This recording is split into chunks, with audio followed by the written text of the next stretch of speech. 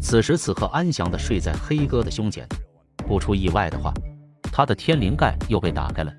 这对部落人来说简直就是舌尖上的美食，但这里的水资源却让人无法接受。你知道这样的饮用水是怎么来的吗？此处位于坦桑尼亚的哈扎部落。纪录片的主人公桑尼初次来到这里，此时部落几爷子正在烤火吹牛皮，他们谈笑风生，无生活压力。看到外人的到来，黑哥将猴哥过来做一顿介绍。此时的猴哥走得很安详。黑哥赶紧给桑尼戴上部落的帽子，然后让他抱着猴哥合照。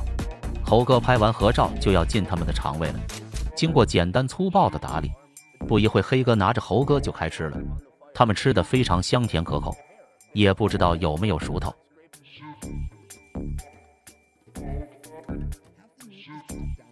这脏辫哥连猴哥的天灵盖都不放过。如果是你们，你们敢吃这样的肉食吗？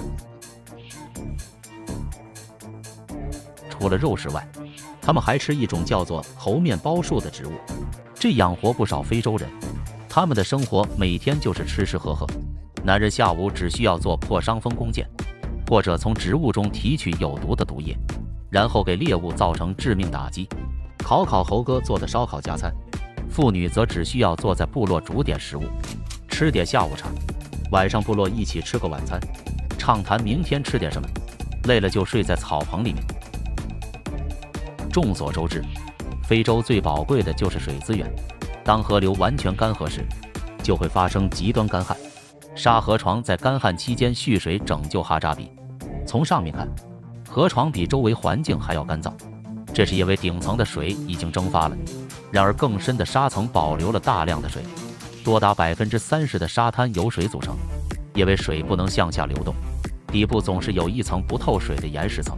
他们会将沙子挖出来取水，然后这样就能喝上看起来很脏的续命水了。这个部落十万年以来一直保持原始的生活，他们只依靠打猎为生，完全就是生死有命，富贵在天。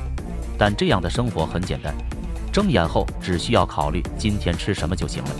很多人嫌弃他们的生活环境，但也许他们的幸福感更高。你能接受这样的生活吗？